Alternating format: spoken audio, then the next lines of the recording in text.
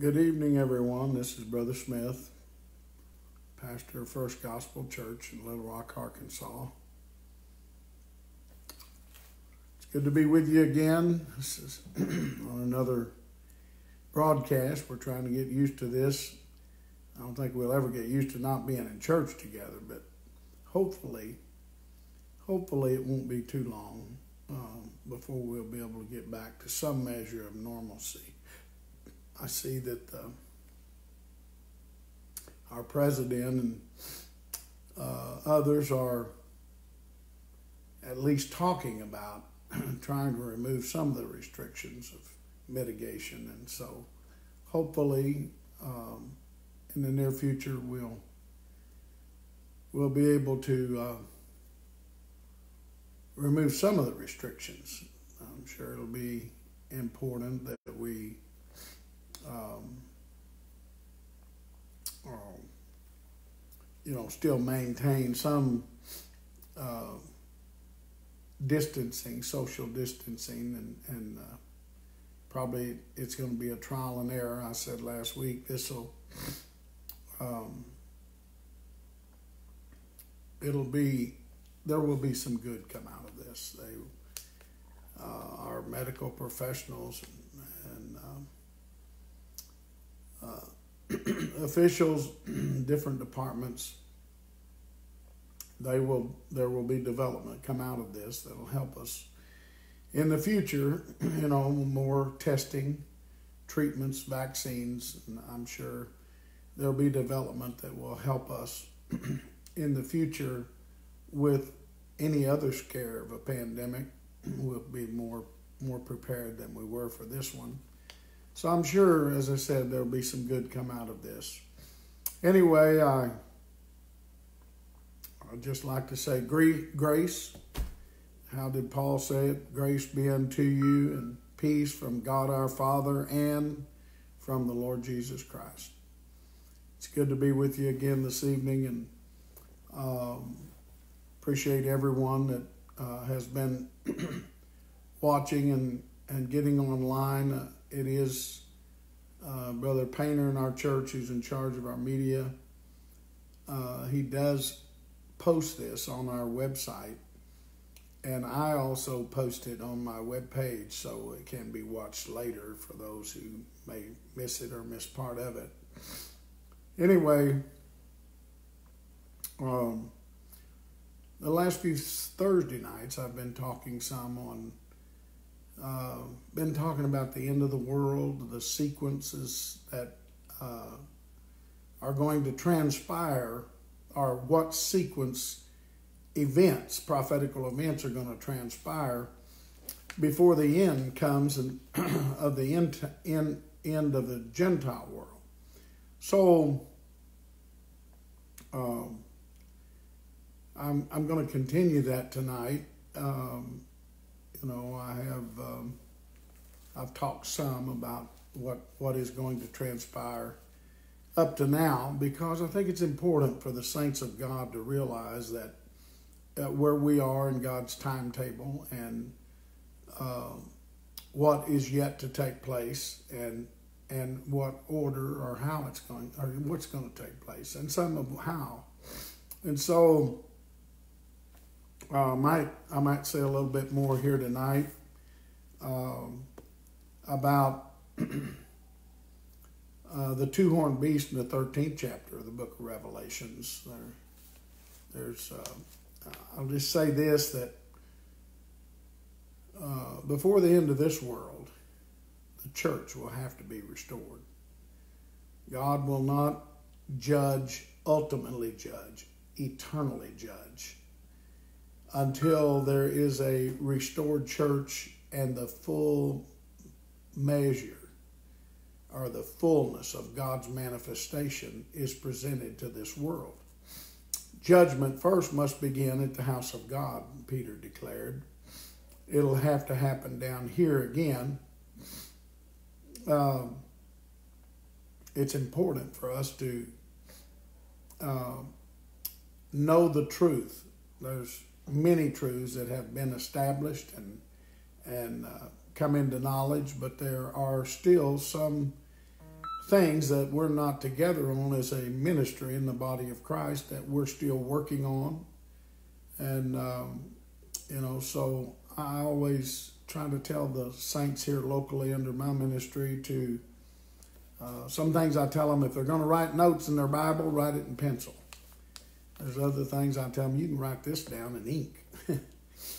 As there's some things that have been established, but um, um, especially uh, things eh, that we're not together on, those are areas that God's going to help have to help us um, uh, get a little more refined in and understand in a clear way, so that what we put out before the saints of God is uh, complete and true understanding. Um, right now, you know, we're doing the best we can do. And I, I always say that, you know, especially when it concerns timetable, I, uh, I for one have uh, done quite a bit of studying on trying to understand what time we are, how much time we've got left, and uh, reckon the scriptures, prophetical scriptures on time. However, I've always been quite fearful about, you know, putting a date on anything. I've seen it done many times since way back in the 80s where men were wrong about it and, uh, you know, and, and saints would get ready and, and, and of course trust their ministry and, and then you know that, that maybe it would be missed not intentionally but but the dates would be missed. So i'm always careful about that realizing that there could be some things that god hasn't revealed yet. But i think that someone ought to be working on and someone who god's dealt with in prophecy are to be those that are working on it uh, everyone is not called to do the same job in the Word of God. There's men that's called in areas I'm not called in that are much better than I am in those areas. And so, uh, you know, I think we all have to work in our calling and and um, you know what God's put on our heart and what message God has gave us. Anyway, um, so you know, as far as timetable, I will tell you this that the best that I can, my position right now on time, the best that I have is that that the church will be restored and completely in 2033, and there'll be the last prophetical hour of 15 years would start at that time. That's just my position on time. I'm not, you know, I'm I'm not. Uh, a stickler about that. My mind is open. I'm listening and and uh, I'm considering anything else that uh, maybe where I could have missed it. But I do know if we're looking at 2,000 year days, you know, two days in the antediluvian world, two days or 2,000 years, a thousand for a day. In the Jewish world, that would put four days. I mentioned Sunday how that, you know, Lazarus being in the grave four days and being resurrected by the Lord Jesus Christ was a picture of uh, life, of the resurrection being established after 4,000 years from the fall of Adam. Um, and of course, Jesus himself was the uh, first man that resurrected from a fleshly state to a celestial or divine state uh, with eternal life from the fall of Adam. That happened in that 4,000 year period or that four day period that, that Lazarus was a picture of. Um, and since uh, the day of Pentecost was approximately AD 33, AD 33 and a half, uh, if you took a 2,000 year Gentile day to that, I've got a different way of going about it that has a lot more detail to it. But just uh, the short synopsis of it, if you add two days or 2,000 years to 2033, you'd come up with 2033. um, uh, it comes out the same as if I go through other dates detail wise. Um, but then there's a 15 year prophetical hour that will take place after that. Um, so I would just say this that we, you know, and that would put us in 2,000 years in the antediluvian world, or two days, and 2,000 years in the Jewish world, or two days, which would be four days, and then 2,000 years in the Gentile world, or six days, and God finished, you know, His creation. He in six days, and the seventh day He rested, which the the millennium would be entering into God's rest, the thousand year millennial reign. So we have to know that we're somewhere close to the end of the Gentile world. We would, you know, uh, we, we would be uh, foolish not to consider that somewhere we're, we're getting close to the end of this world and we ought to be preparing ourselves for it. Uh, I left off last week talking about the two horned beast in the 13th chapter of the book of Revelations because this is one of the things that will have to transpire. Um, first, I said the church will have to be restored. And then, uh, for that to happen, uh, there will be much, much transpire in a quick order after that. One thing is, is that during that time of the 15 prophetical hour, 15 hours, uh, God will judge Babylon. And, uh, and of course, the word Babylon and it means confusion. Uh, we have a great picture of the children of Israel being seven years, 70 years in, in captivity of Babylon. And they finally got out of Babylon and went back with Nehemiah and Ezra and rebuilt the temple. And that's a picture uh, God's people in, in type have been in a Babylonian religious uh, state. In the Gentile world, all of this confusion of different organizations and different uh, teachings in Christianity that has separated God's people cannot uh, that that cannot be God's order in a restored church. Uh, we're not going to have uh, division. The early church is our picture, and that's our foundation. Um, we're built on the foundation of, of the law and the prophets, Jesus Christ being the chief cornerstone. And so we know we have to line up to that early church. And so uh, it's it, it's going to take us having what they had back there in a complete understanding, plus the power of God and manifestation of the Spirit to accomplish what was accomplished back there in that uh, in the end of the Jewish world.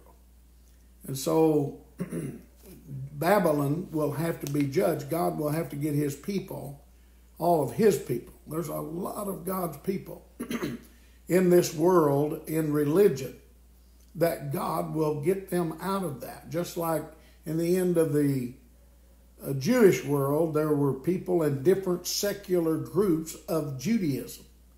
And those people had to come out of those secular groups out from under the law and come into the body of Christ and receive Christ, uh, their Messiah and, and their Savior and they had to get an understanding of God's purpose and what it would take to inherit eternal life.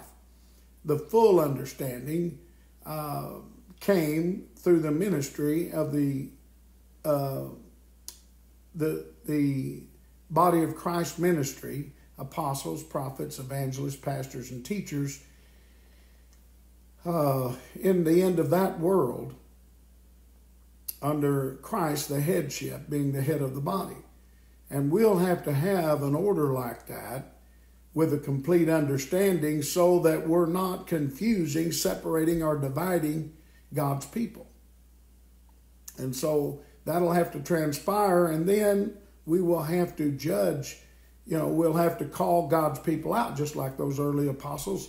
They harvested that world. When I say harvested, I mean they went through that world preaching and teaching with the power and demonstration of the Spirit of God the truth about Jesus Christ, His purpose, and God's plan, His eternal purpose and plan uh, for His people to inherit eternal life. And the Jews had missed it. They had divided with secular groups like Pharisees, Sadducees, Elamites, Herodians, uh, Essenes, and many other different uh, secular groups back there that divided the people of God in the end of the Jewish world. They called those people out of all of that into the true church. I've said many times that uh, the United States is not the body of Christ. God chose the United States to restore his church in uh, fully, to fully restore his church in.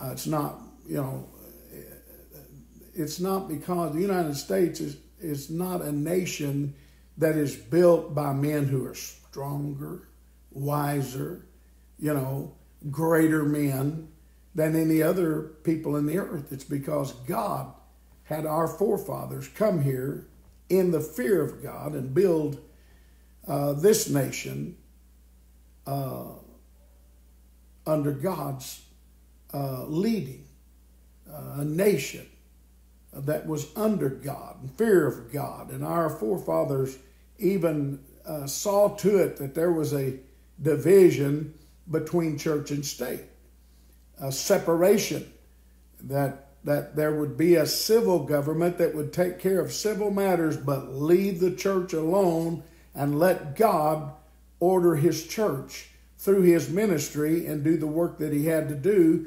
Our forefathers in civil government realized that was not their job.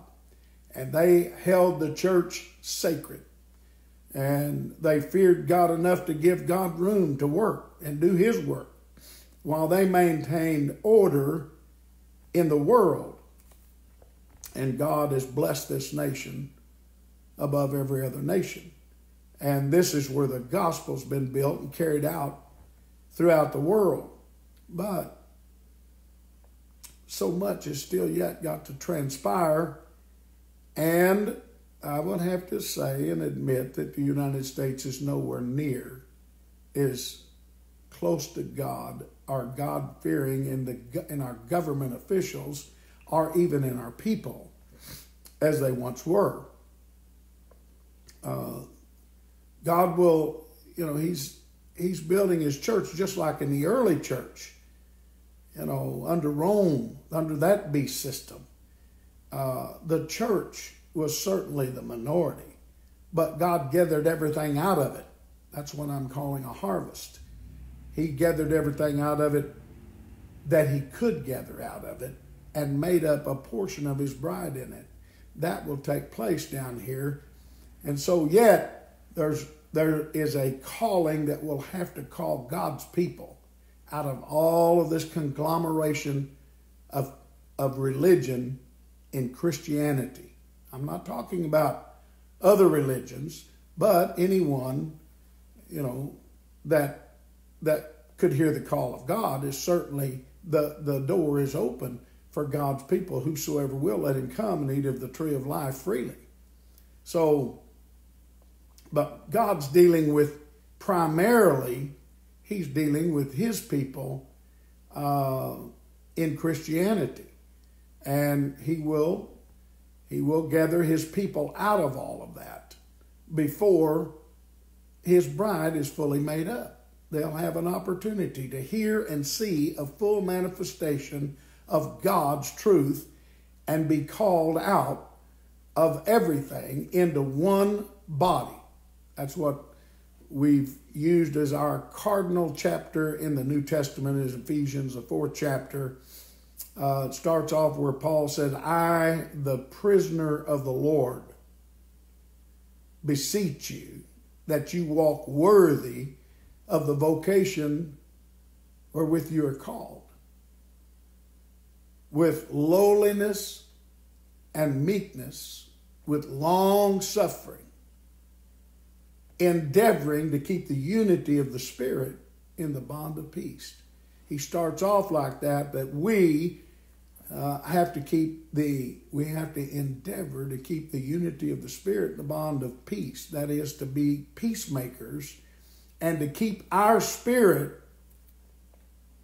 uh, in unity with one another. Even though we may not agree, we're still brothers and we're still trying to stay together while God is working and helping us to find areas uh, in His purpose that we may have missed or been ignorant of, unlearned of.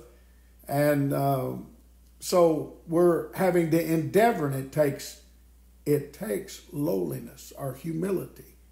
It takes meekness uh, for that to be accomplished.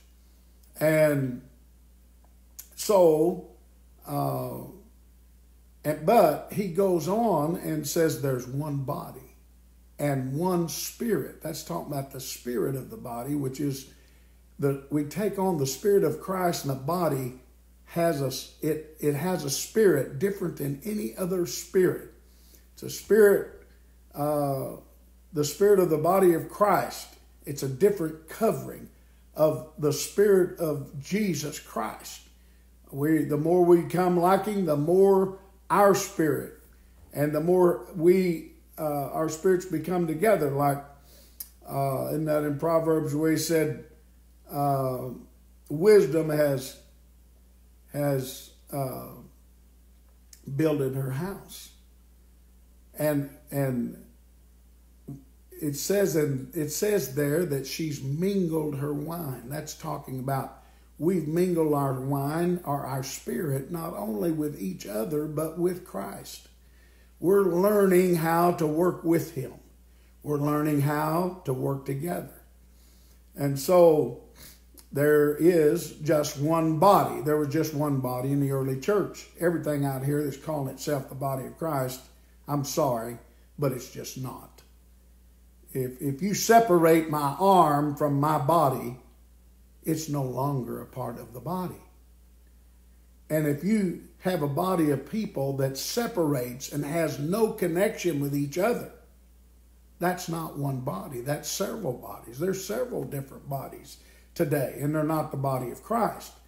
There's just one body of Jesus Christ, and it's being formulated. Um, it's coming together. It's uh, it's being developed, having that one spirit. And then he said, There's one Lord and one faith. There's just one faith. You know, you can't, you know, I've had people ask me, What faith are you of? Well, there's more than one, just one. There, there's more than just one faith, even in Christianity in this world, but there's not but just one faith in the Lord Jesus Christ, one true faith. Faith comes by hearing, and hearing by the Word of God, and it takes the truth of God's Word uh, for us to have true faith, the true faith of the Lord Jesus Christ. We've got to have the truth. And, and so uh, there's just one Father, one God, uh, God and Father who's above us all and, and through you all and in you all, he said until this all is to happen until we come to the unity of the faith. And so that's what we're working on. Uh, so we not only have to gather God's people out of Babylon, uh, but then then judgment is going to transpire. There's going to there will be a judgment. Now, in the in the end of this world, there is uh, where we are going to have a dragon system again.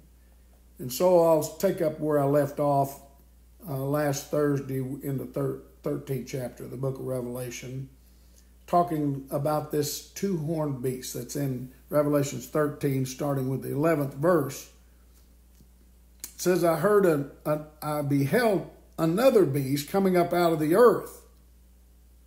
And he had two horns like a lamb, and he spake as a dragon, and he exerciseth all the power of the first beast before him, and causeth the earth and them that dwell therein to worship the first beast, whose deadly he uh, deadly wound was healed.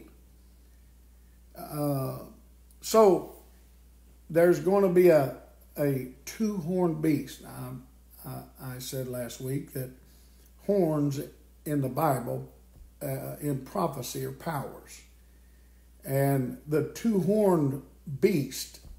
Uh, there's there's there's several reasons that I equate this two horned beast as being the United States of America. Um, if you notice, it, it comes up out of the earth. Uh, if you look in the 13th chapter, in the first verse, John said, I stood upon the sand of the sea and saw a beast rise up out of the sea, having seven heads and ten horns, and upon his horns ten crowns, and upon his heads the name of blasphemy. So here, this seven horn, this seven headed beast came up out of the sea. Now, the sea in, in prophecies talking about the world. It's it's talking about uh, peoples, nations, and tongues. Uh, the angel describes that in the 17th chapter of John. So these this seven-headed beast are seven world powers, dragon powers. Uh, if you look in the second verse, it says, The beast which I saw was likened to a leopard, and his feet were as the feet of a bear, and his mouth as the mouth of a lion, and the dragon gave him his power and his seat and great authority. Okay, well, if you out of the seventh chapter of, of Daniel, uh, these these beasts are mentioned: the leopard, the bear, the lion, and then a terrible beast. Here it's called the dragon. Uh, the leopard, it, it goes backwards. See, before the dragon, here the dragon is, is Rome. But uh, if you if you go uh, uh, the the leopard was was Greece. Uh, the bear was Medo Persia. If it, if you go from Rome backwards to the leopard, then the bear, Medo Persia, and then Babylon. And so, out of the sea or out of the world, these dragon powers, which is world powers, and for them to be a dragon power, it takes the union of a religious power and a civil power. Once a religious power and a civil power come together, it forms a, bra- a dragon power that rules the world during its time frame, during that portion of its time frame, the dragon portion. Egypt was the first world power, then Assyria, then uh, Babylon, then Medo Persia, then Greece, and then Rome. Uh, and of course, the seventh head is the head that we're talking about here. When he gets through talking about this, uh, in the 11th verse, he begins to talk about this another beast coming up out of the earth. It didn't come up out of the sea. The earth here in prophecy is talking about religion.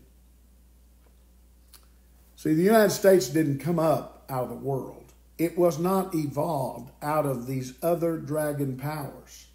The United States of America escaped dragon power of Rome and it and it came to America and set up a country, a free country, free of worship and free to seek God and serve God uh, without being forced in a with a dragon force.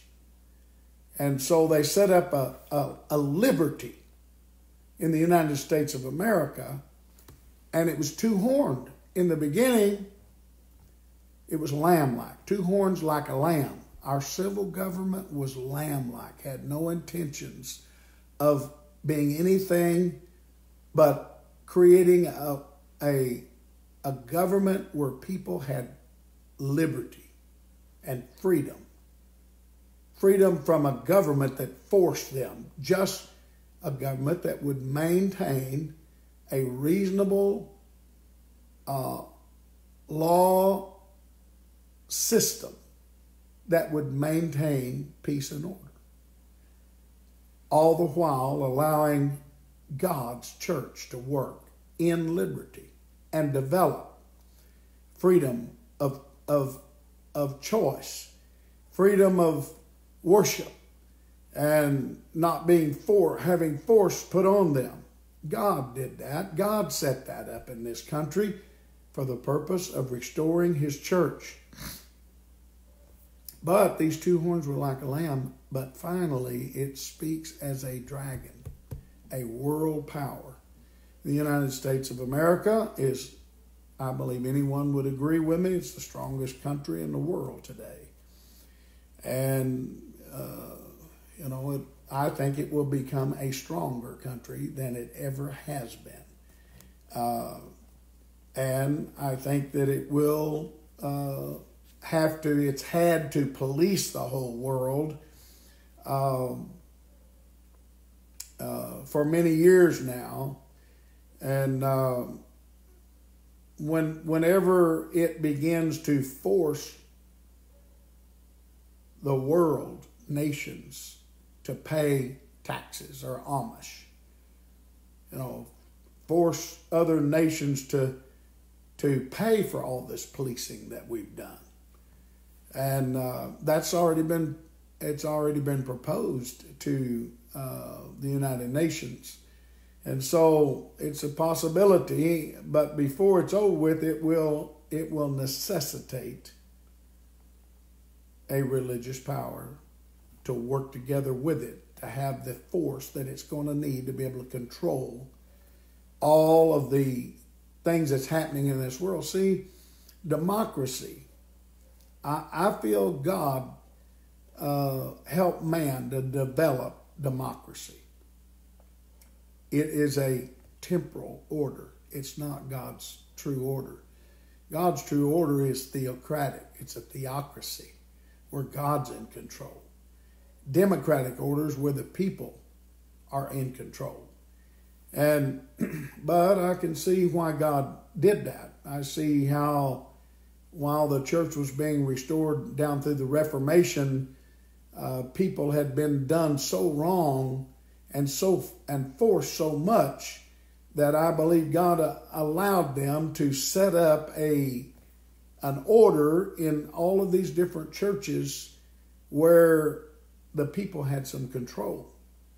Uh, you know, it wasn't Bible order where you would have uh, an order in a church where the people would vote in a pastor or vote him out. Um, you couldn't have voted Paul or Peter or James or John or any of those apostles out of their churches. They did that. God's order wasn't set up that way, but because of man's confusion, you know, the red horse, which is a picture of of um, Pentecostalism, uh, when the church fell out of the white horse state into a red horse state. Uh, the rider had a sword in his hand and he had power to hurt men. The sword is the word of God, and men without wisdom can be hurtful. People can be hurt. There's victims that, you know, have been hurt. God is aware of that. Uh, God's correcting that, but He also has to understand. God understands that, you know, one time God dealt with me and told me the men you are working under are the greatest men that I have. They're not fully developed, it's not restored yet, but they're the greatest men that I've got. And when you criticize them, you're criticizing me because I put those men in the positions that they're in. God had to humble me some and help me to understand how He was working and for me to learn how to work with Him. So yes, there's still there's still we're still in a red horse state, and there's still men with a great sword that has power to hurt people. Not that they intentionally hurt, but they may not have wisdom. And I have to admit that I fit in, I, I fall in that category. I have failed people down through my ministry. I think I'm doing better now, but I have to admit the fact that, you know, I didn't always know how to treat people right. I thought I was doing right, but I wasn't doing right. I've had to gain more meekness, more lowliness, and I think God's helped me to have more wisdom. I'm having to learn how God thinks uh, about His people before I, I, I make a decision on how to deal with God's people. I have to be led of God, and I have to learn how how's God feel about this.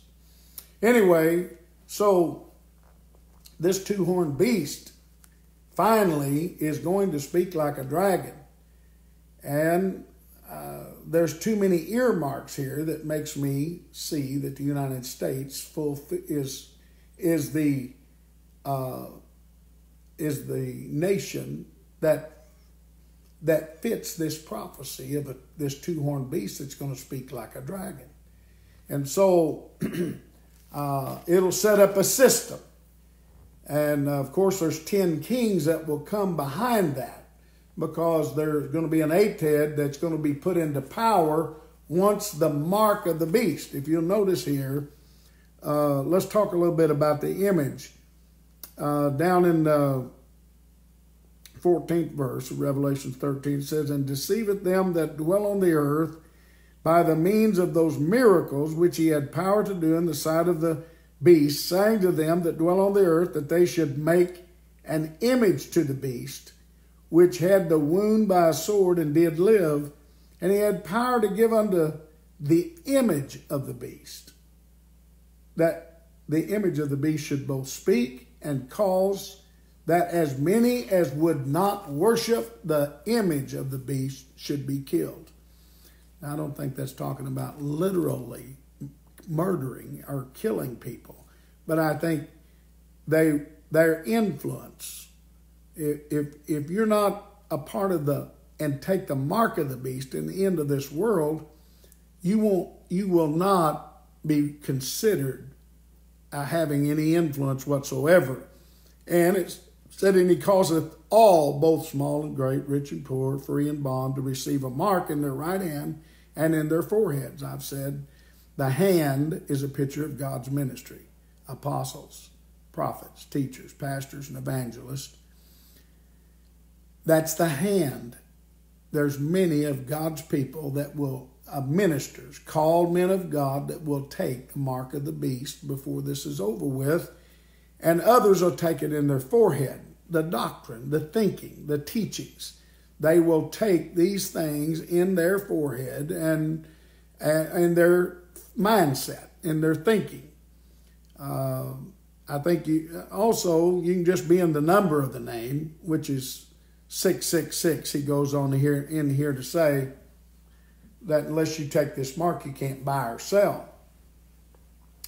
I'm it's talking about the gospel. I'm selling right now. I hope you're buying.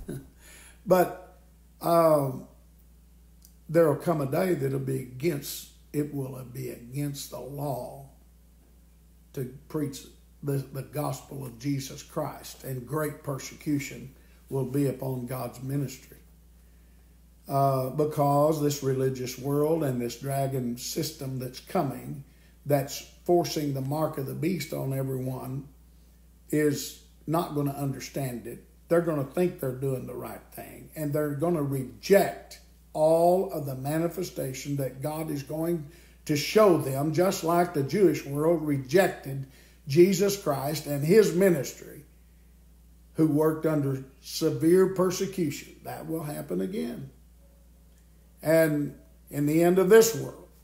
But God, while all of these things are taking place, God will make up his bride, the remainder of it, out of this Gentile world, what he's going to bring about.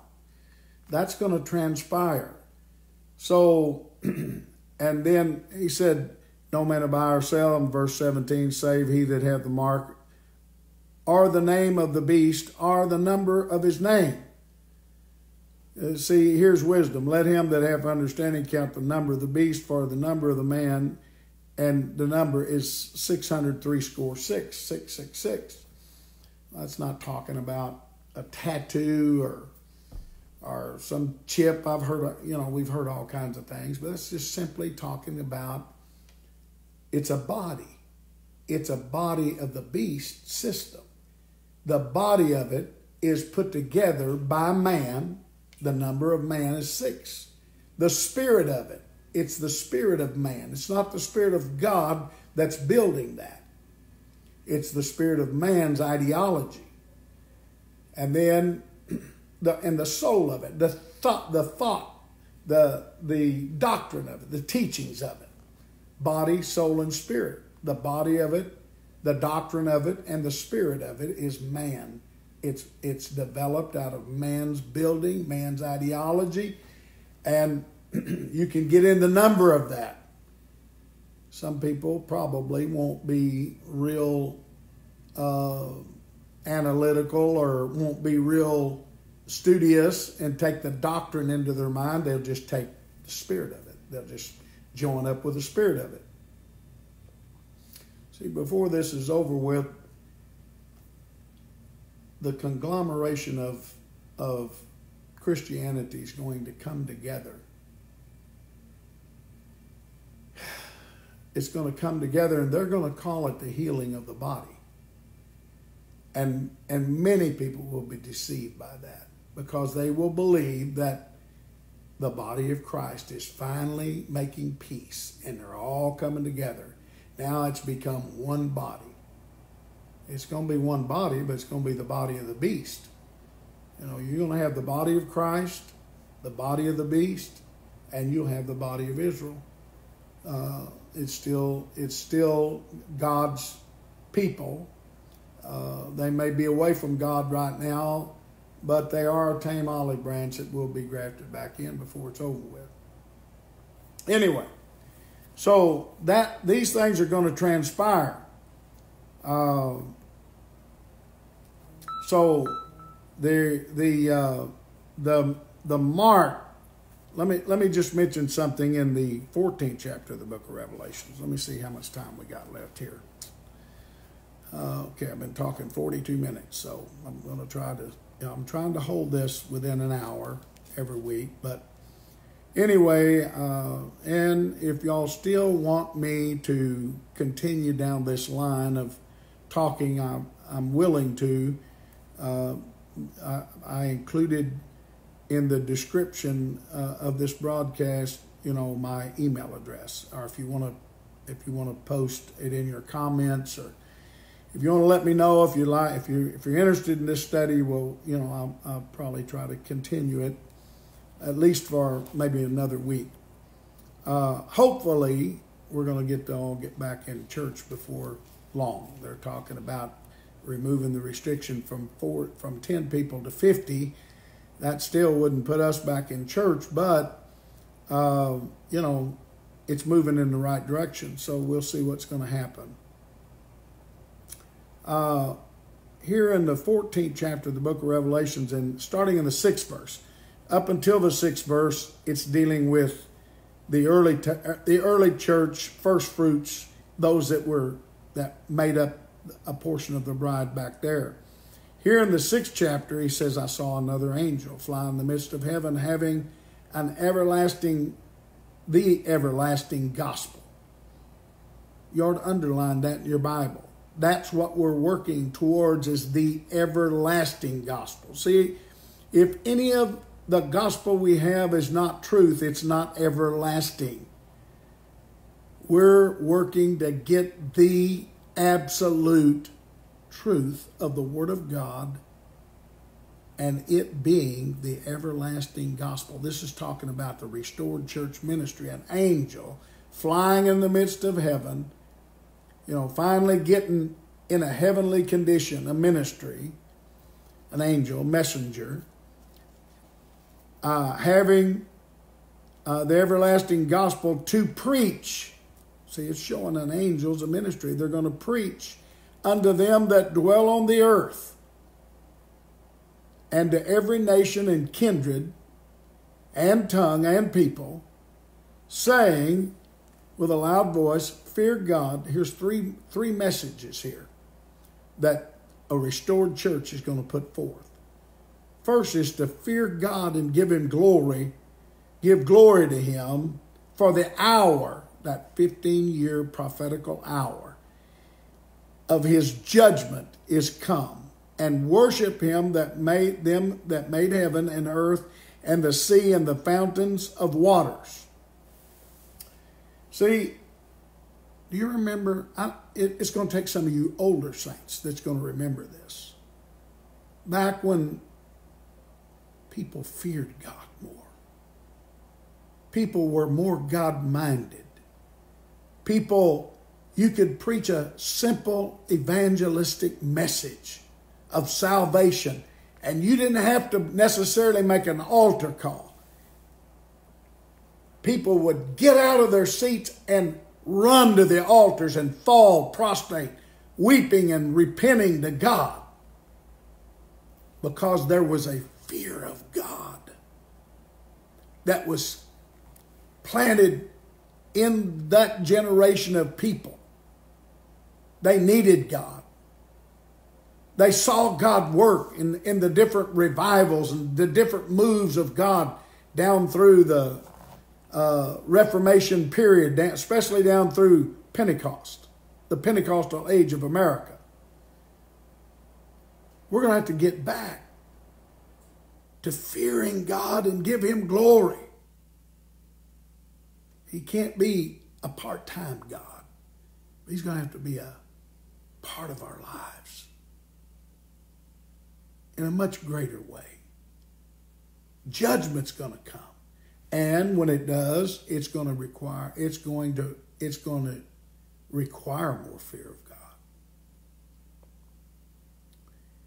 That's the first message that this ministry, a restored ministry, is going to have enough power of God to show God's power. And the evil that's in this world is going to be strong enough that this world is going to be crying out for help. And those that have uh, an influence from God that God can reach, He's going to have a ministry that's going to reach them and cause them to respect and have an awe and a fear, knowing that they need Him.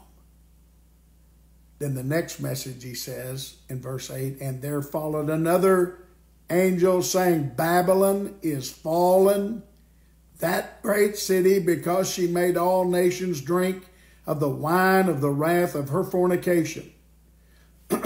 Read the 18th chapter, where God began to explain it in great detail how he said that an angel with a strong voice and a mighty voice would say, Come out of her, my people, and be not partakers of her sins. He, he goes through a whole chapter showing how he's going to judge this religious, and I'm talking about Christianity, this religious system of Christianity that have missed God. And he's going to call his people out of that in a restored church called the body of Jesus Christ. Not just what everybody's calling the body, there's just one, and it's connected and it's not a conglomeration of all kinds of groups that are not connected. the ministry will be 100% connected. Then there's another verse, verse 9. And the third angel, third messenger, followed them, saying with a loud voice, If any man worship the beast and his image, and receive his mark in his forehead or in his hand, the same shall drink of the wine of the wrath of God, which is poured out without mixture in the cup of his indignation, and he'll be tormented with fire and brimstone in the presence of the holy angels and in the presence of the Lamb. That's the third message that that that's going to be preaching strong against this Babylonian system. Come out of her, my people. It's going to take a restored church to do that. It's going to take men that have God has developed and chosen and empowered to do the work of the body of Christ in its restored state to accomplish the judgment of God, which first must uh, happen to the church, to the body, before we can't judge others till we've judged ourselves. We've got to become uh, righteous, more spiritual. We've got to get closer to God, and God, God is going to give the keys to some men, and He's going to back them up just like he backed up the early apostles. So that's going to transpire. Now, this dragon system, two horned beast I was talking to you about, that's going to set up the mark of the beast, which I read here to show you if any man worship the beast and his image and receive his mark.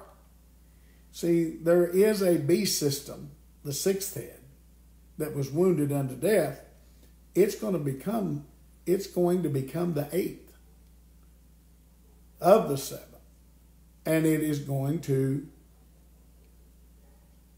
be elevated by the image of the beast that's going to be set up by this two horn system two horn beast system that speaks as a dragon.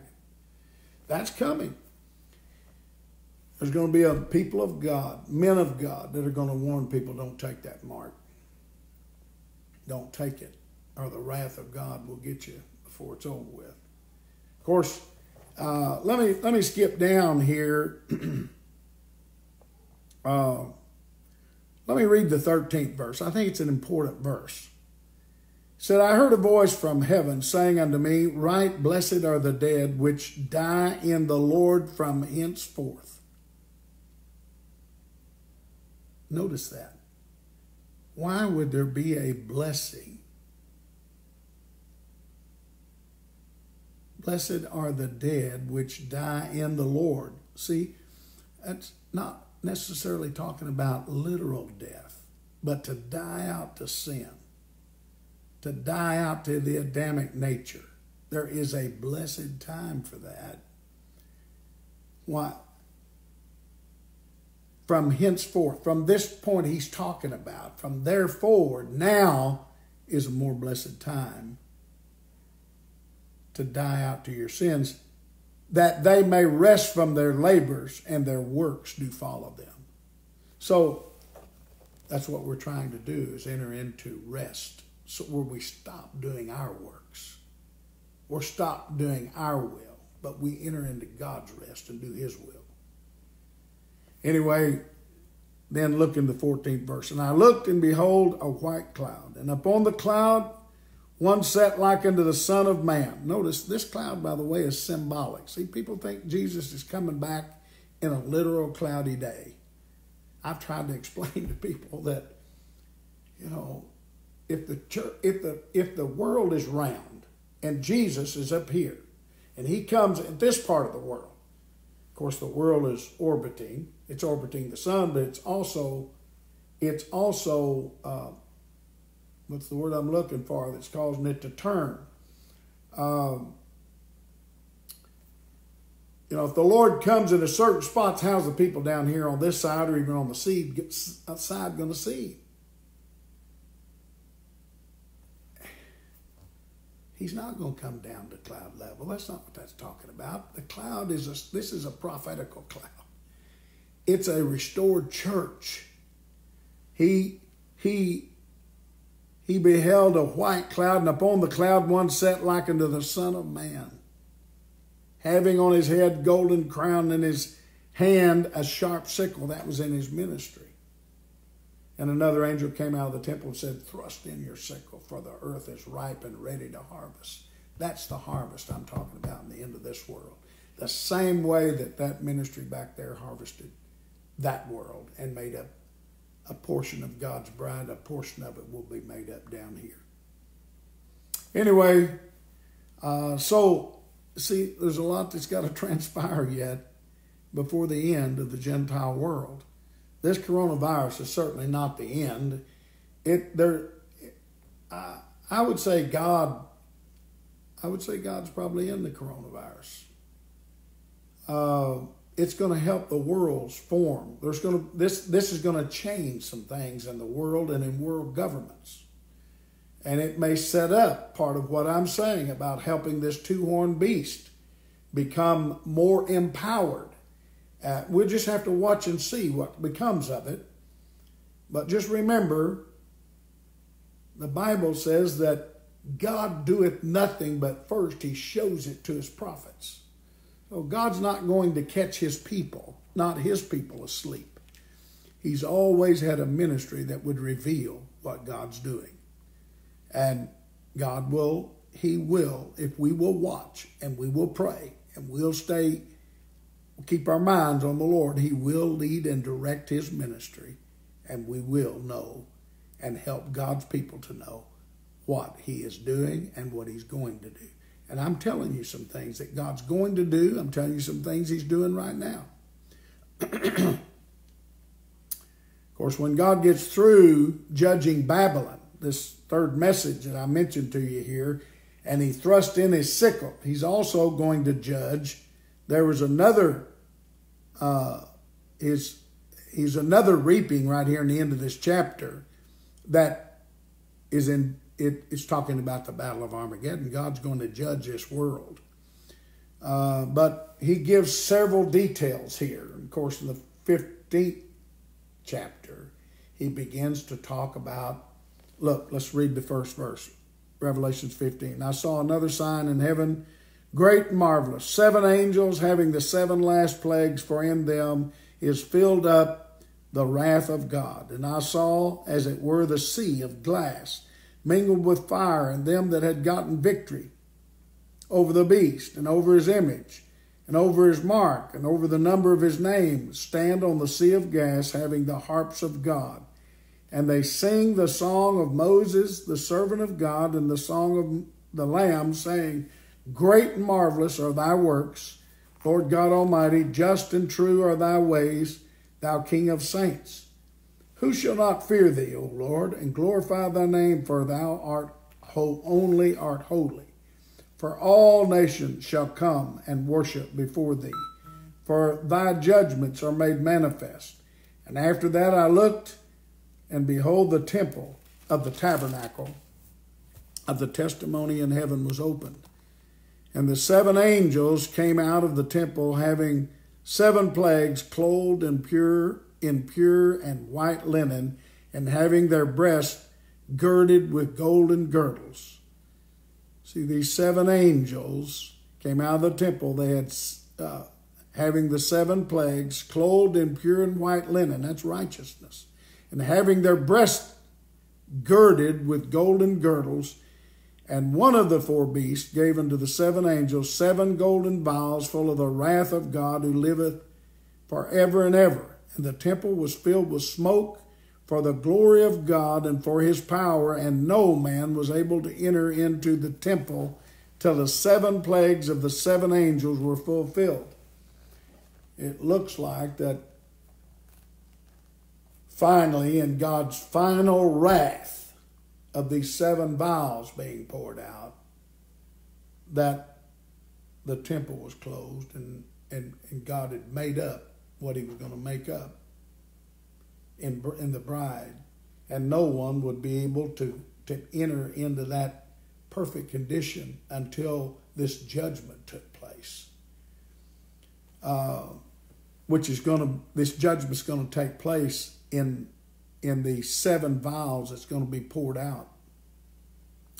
I'm run out of time, so maybe we'll I thought maybe we'd get into the seven vials this evening, but we'll if we continue this next Thursday night at seven o'clock, we'll we'll continue and work there. I I hope that I'm trying to say a lot in a short period of time, and I hope that I'm saying things that is understandable enough that you you know can make sense of it. I you know, I, I don't want to get to talking about something that's boring or has so much in it that, you know, no one can even latch on to. Brother Clyde Patton used to say, you know, he was just an old country boy. He was talking about a wagon, a horse drawn wagon. He said, you know, if you're preaching and nobody can get a get there's no handles where they can get on the rig, he'd say.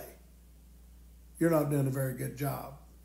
Well, I understood what he's talking about because I grew up in the country. I grew up. My grandfather had he he didn't have a car or a pickup. He had horses, and he had a wagon that he went everywhere in. I rode in that wagon with him as a little boy many times. And you know, Brother Patton said, you need to have you need to be going slow enough, or have a way that people can get on the rig with you if they're going to go with you. And so I've always tried to be mindful of that, and I want to, you know, I want to I want to try to explain at least my position of what I'm trying to get you to understand in a way that is at least understandable and reasonable enough that you can get on this rig. anyway, God bless you all. Thank you so much for listening. Uh, if you have any questions, you can email me. My email address is on there. It's ifrsmith at aol.com. Feel free. Uh, you, also, you can get on our website. I have another email address on there you can email me by. You can listen to this post. I'll post it on my Facebook page when I when I close here. Uh, Brother Painter, who's in charge of our media booth, one of our associate pastors, he he will also uh, post this on our webpage and on YouTube. So, uh, God bless you all. Thank you for uh, listening this evening. I want the saints and uh, I want everyone, Sister um, Sister Layton. I saw you on there. God bless your heart. I miss you so much.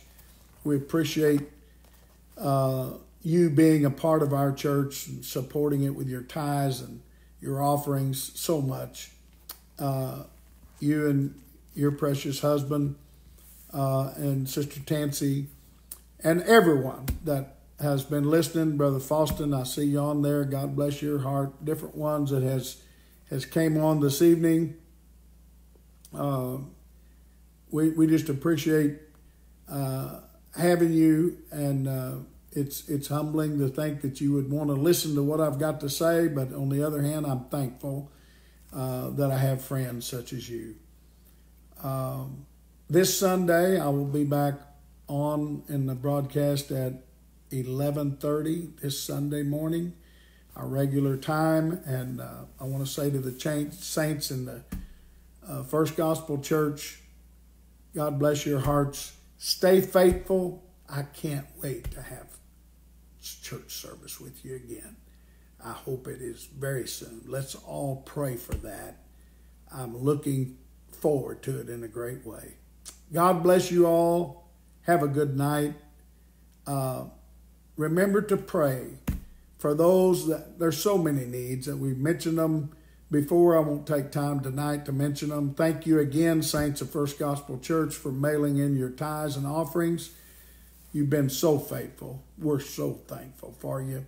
By the way, we're having a new awning installed, a drive through awning in our church. You know, the storm destroyed the old awning a year ago, and they are installing that. By the time we have our next service, I think it'll be up there. God bless you all. Have a good night. Pray for me, and I'll pray for you.